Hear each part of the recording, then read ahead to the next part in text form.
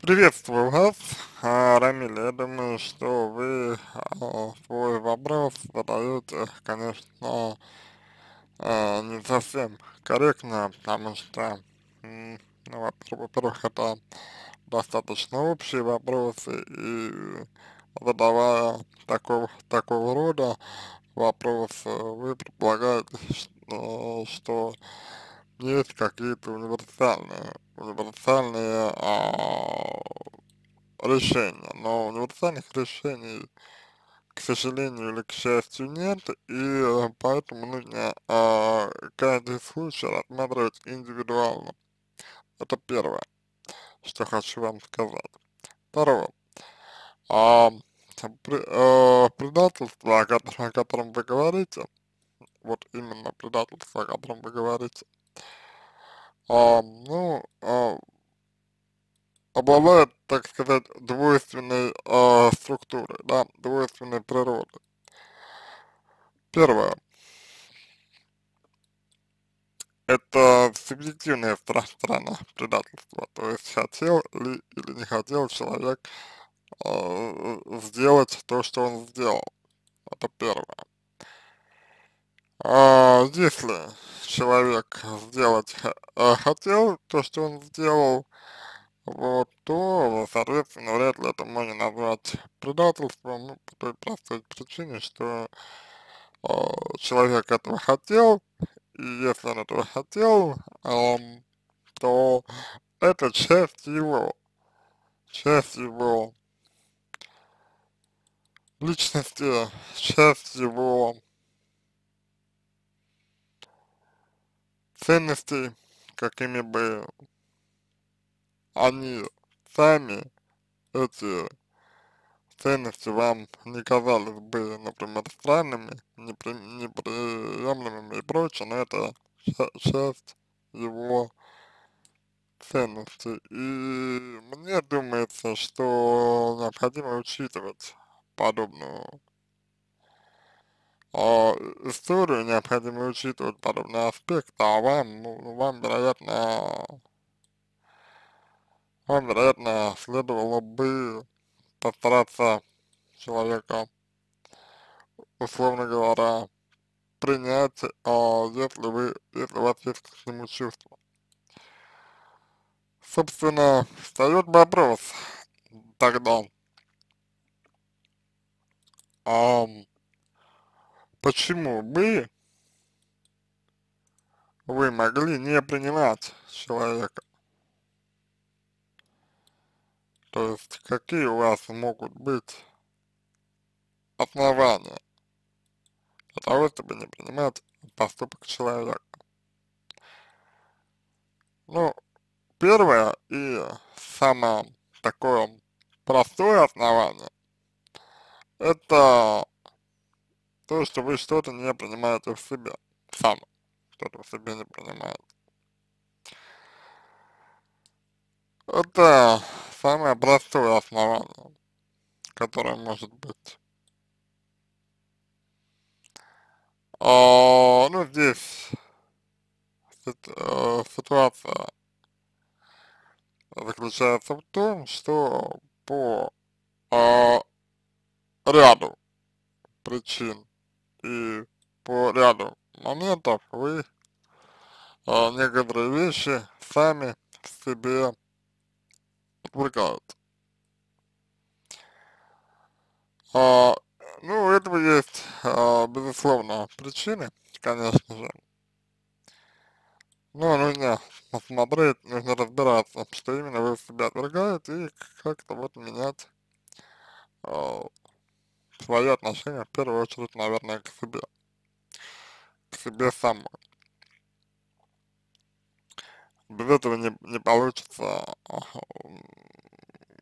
никак о,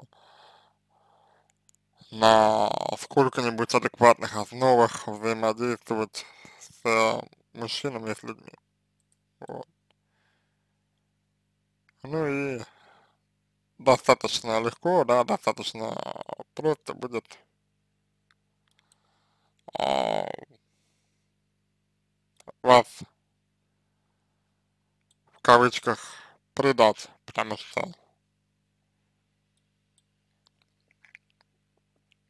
не принимая что-то в себе, вы, соответственно,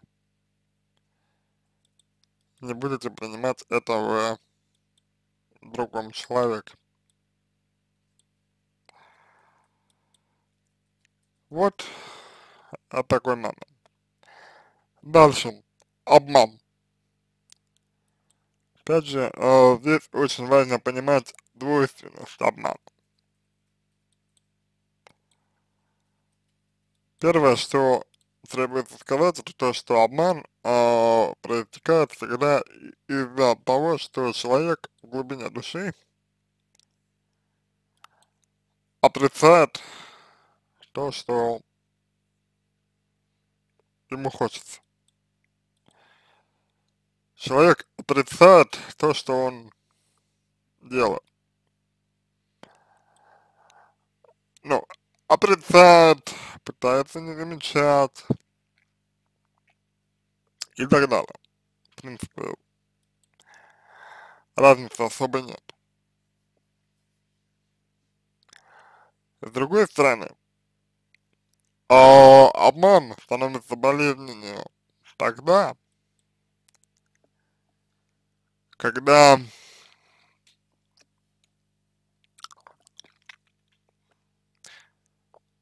вы, например, полагаетесь не на себя, а на э, на мужа в данном случае. То есть это такая вот попытка э, переложить свою определенность, свою э, стабильность на другого человека. Ну, хорошего. Из этого, опять же, э, вырасти что-то не может. Другой вопрос, как так получилось, что вы вот пришли к э, тому, что ваша собственная ответственность э, вас, например, тяготит, например, тяготит. Дальше. Как жить без надежды? Ну, надежды на что? Во-первых, во-первых, во-вторых, это немного провокационный вопрос, потому что жить без надежды невозможно, а человек э, всегда найдет надежду. Вопрос в том, на что? Если надеяться на что-то, связанное с другими людьми, то мы автоматически становимся зависимы от их э, действий, от их воли, от их настроения и так далее. Если мы, если мы э, живем в надежде на себя, ну, это более как бы стабильная история. То есть вы не можете, не привыкли, а точнее надеяться на себя, да. То есть этому можно научить, тоже да. Как полюбить себя, чтобы не обрекать себя на мучения в отношениях с мужчиной? Любовь это принятие, вам нужно поработать над принятиями, первое, над принятием себя, в первую очередь посмотреть на те условия, которые вы себе продвигаете для принятия. Ну и второе, мужчина э, в отношениях с мужчиной, это также полностью зависит от вас, но и в этом вы получаете определенную выгоду, то есть в ваших мучениях с мужчиной есть выгода. И первую очередь вам именно на выгоду нужно обратить свое внимание, потому что пока, пока выгода есть, вы, на мой взгляд, э, ничего менять не будете. На этом все. Я надеюсь, что помог, помог вам. Я желаю всего самого доброго. Удачи!